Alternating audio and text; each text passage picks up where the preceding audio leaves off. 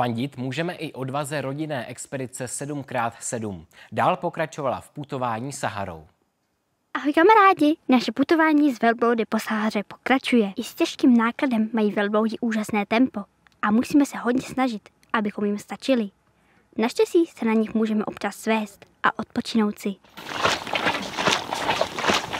Dnes se na noc zastavujeme u malé nomádské osady. Stále objevujeme nové fígly, třeba pouštní ledničku.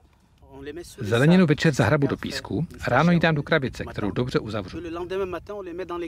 Písek v noci chladí a je tak suchý, že se na zeleninu vůbec nelepí. Kanistry vody jsou zase obalené mokrou látkou a jak se na slunci vysušuje, voda z kanistru je trochu chladnější.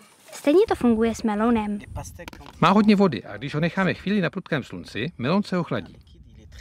Schyluje se k bouři, takže dnes budeme spát ve stanu, který musíme dobře zajistit pískem.